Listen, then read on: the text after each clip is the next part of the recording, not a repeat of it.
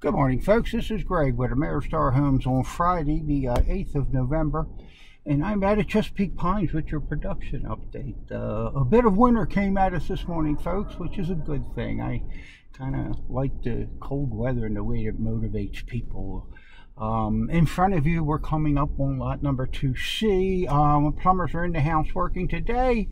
Um, duct work has been completed. Plumber's got another day or so into the home once he has his work complete, then we'll go ahead and uh, get the uh, electrician started and the fire retention. I would think we should be about ready for a uh, framing walkthrough probably be towards the latter part of next week. So uh, house is moving along quite nicely. Um, next week, I would think we'd get a framing walkthrough done, get the electric finished, so we could uh, move forward with the, um, you know, to close in in the next uh, couple of weeks by uh, Thanksgiving, I would think.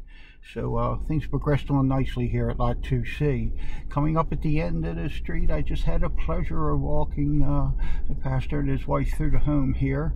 Um, uh, the house itself had kitchen cabinets delivered today. There are several flooring people working in the house. There's some vinyl flooring in uh, a lower uh, kitchen area we put in for uh, mom and dad. And the upper part of the house, they're doing ceramic tile, um, getting all this in, pre in, in, preparation for the uh,